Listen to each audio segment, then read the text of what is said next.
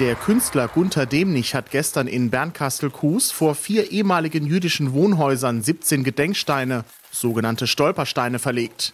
Sie tragen Namen und Lebensdaten von Opfern des Holocaust. Mitinitiiert hat die Aktion das Bündnis für Menschlichkeit und Zivilcourage Bernkastel-Wittlich.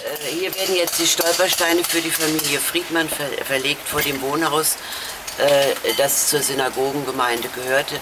Äh, Hugo Friedmann war Lehrer, Kantor und Vorbeter in der Synagoge und wurde mit seiner Frau 19, äh, nach den Pogromen vertrieben und 1941 nach Lodz deportiert und dort umgebracht.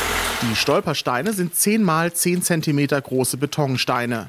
Auf deren Oberseite ist eine individuell beschriftete Messingplatte angebracht. Auf jedem Stein steht, hier wohnte, dann folgen die Lebensdaten der Nazi-Opfer. Bernkastel-Kues ist in Deutschland bereits die 372. Kommune, in der Demnich Stolpersteine verlegt hat. Ich denke, jeder weiß, der Hintergrund des Projekts kein Grund zur Freude. Ich freue mich trotzdem hier zu sein, Bernkastel-Kues, der die 372. Kommune in Deutschland. Dank an die Initiatoren, Dank an die Paten, die das ermöglicht haben, dass auch hier in diesem ja, kleinen, sehr netten Ort die Steine gelegt werden können. Ein Stolperstein kostet 95 Euro. Finanziert werden sie unter anderem von Vereinen, Parteien und Schulklassen aus Bernkastel-Kues.